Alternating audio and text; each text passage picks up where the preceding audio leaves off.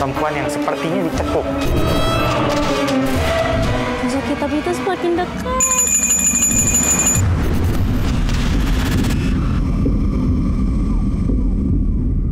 Berarti sosok perempuan ini yang paling dominan mengganggu di villa ini.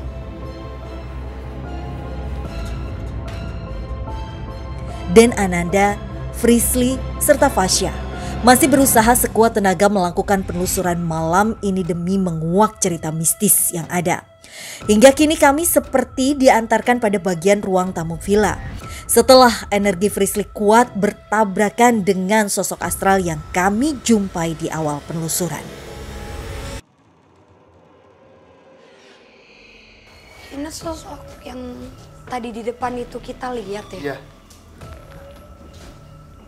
Jujur ya kalau misalnya kalian bisa ngelihat tempat ini seolah-olah memang masih aktif dan mereka mengisi tempat-tempat ini seolah-olah mereka sedang menonton kita. Ada sosok perempuan sedang duduk dan di sini ada sosok hitam kurus seperti terbakar. Tapi ini pasangannya atau tidak ya kak?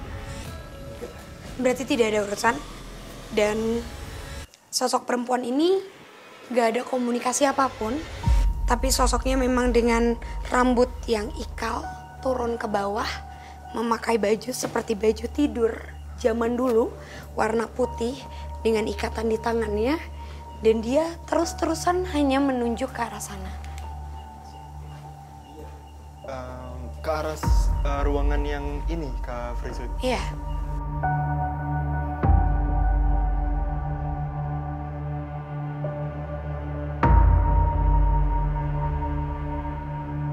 Ruangan kamar di lantai bawah yang dekat dengan pohon ini ternyata menjadi wujud gambaran dan Ananda dapatkan ketika berada di lantai atas.